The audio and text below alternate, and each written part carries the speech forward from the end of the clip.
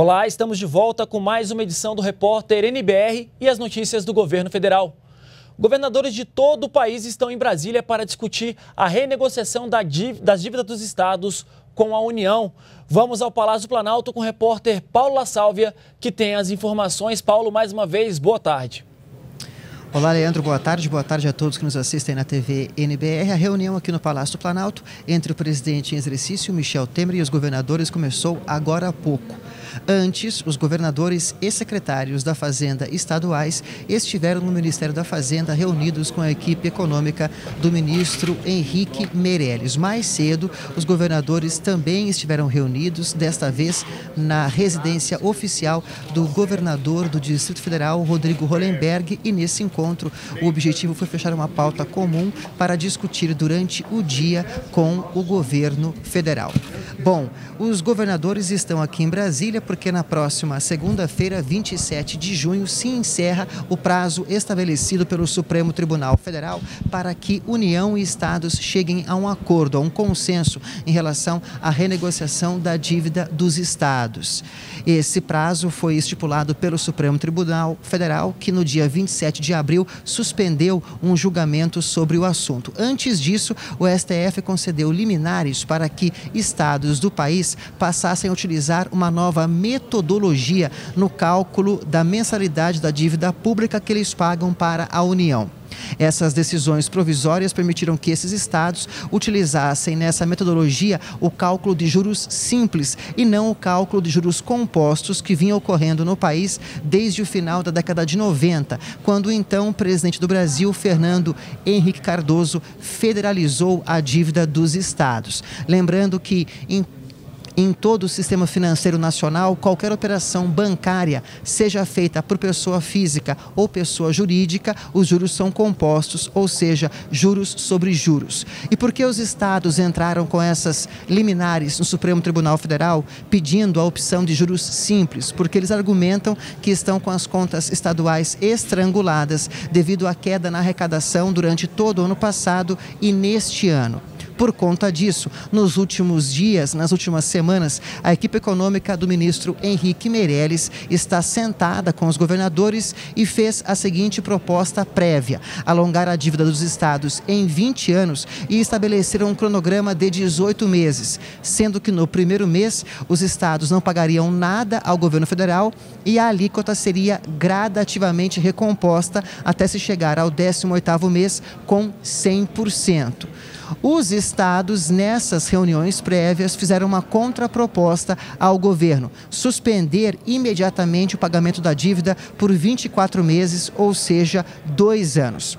Esses encontros aqui em Brasília hoje são justamente para se chegar a uma proposta intermediária que atenda tanto aos interesses do governo federal quanto aos interesses dos governadores. Ou seja, essa proposta prévia pode ser mudada e deve ser anunciada aqui no Palácio do Planalto em uma entrevista coletiva depois dessa reunião entre os governadores e o presidente em exercício, Michel Temer. Eu volto com você no estúdio, Leandro. Obrigado, Paulo, pelas suas informações aí do Palácio Planalto. Termina hoje o prazo para os pré-selecionados no ProUni apresentarem nas instituições de ensino os documentos que comprovem as informações prestadas na hora da inscrição. O programa Universidade para Todos oferece nesta edição mais de 125 mil bolsas de estudo em 901 universidades particulares. O resultado da segunda chamada sai no dia 27. Quem não for selecionado pode ainda participar da lista de espera de 8 a 11 de julho. Outras informações no endereço que aparece aí na tela, site proune.mec.gov.br. E faltam menos de cinco meses para as provas do Exame Nacional do Ensino Médio. A nota do Enem é usada para ter acesso à educação superior. Um sonho para muita gente, mas que para se tornar realidade é preciso muito muita dedicação. Só a redação vale mil pontos. Mostrar que sabe português e interpretar informações, desenvolver argumentos de acordo com um tema. A redação avalia o aluno de várias maneiras e é motivo de sobra para os candidatos que estão se preparando para fazer o Enem ficarem alertas. A minha maior preocupação é porque eu não sei muito abordar o tema. Aí eu queria saber, com as dicas da professora, queria saber mais abordar o tema para que minha redação fique mais produtiva. É muito importante a redação porque ela está bastante na atualidade. Esses temas também valem muito para a redação. E toda essa preocupação tem capacidade para causar esse efeito: encher uma classe inteira de cursinho em pleno final de semana para aulas de preparação sobre o tema. Toda essa dedicação não é à toa, já que a redação pode ser decisiva para o resultado final no exame. A redação, além de ser é, eliminatória, né? ou seja, sem a nota mínima de redação, o candidato está reprovado, independentemente do desempenho que essa pessoa tenha tido na parte objetiva.